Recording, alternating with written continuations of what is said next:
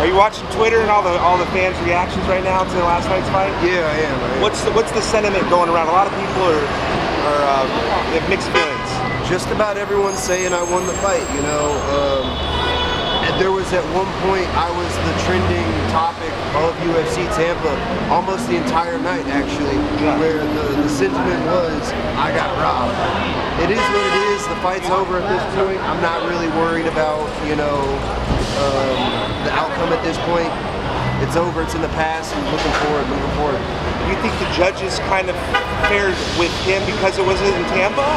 Is that I'm not. That's not my decision to make. That's not my call to make. Uh, do I think I was a little? Uh, I was affected by some hometown bias, maybe.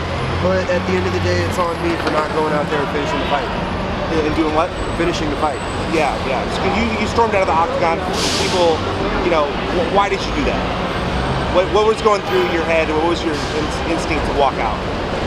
Well, we had already set our, our you know good fight and everything to their corner. There's nothing left for me to do. Why stay in there? I mean, I, they don't. Every other person walks out of the octagon. I mean, yeah, I stormed out. I was a little angry. I mean, I think most people would be in that situation. I think the one thing people that criticize me for that decision don't really think about and they don't take into account is the fact that we put so much into this. We put more into this than most people put into their regular jobs and half the things they do in their whole lives. And for someone who's never stepped in the cage before to, to take that away from you, it's it's very disheartening. I I understand that, man, and I appreciate the, the, the work that you guys do, and, and it's entertainment to the fans.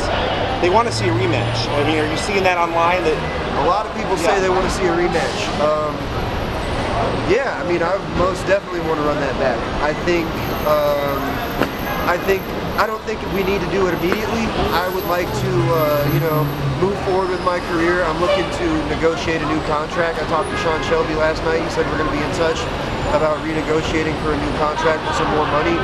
So I'd like to go through with that, start fighting some bigger names, and hopefully down the road we can fight again for some Yeah. bigger, uh, some bigger circumstances. I'm a huge Bob Ross fan, and uh, have you ever taken up painting or anything, or watched some of his stuff and decided No, that? I, I mean, I don't paint, but I am a huge, huge fan of Bob Ross. One of my favorite things to do is just get baked and go watch some Bob Ross on Netflix.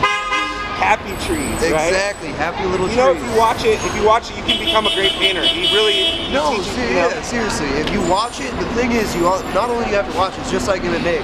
You have to um, pay attention and appreciate the detail he puts in because if you don't, you're just gonna mess it up, just like MMA.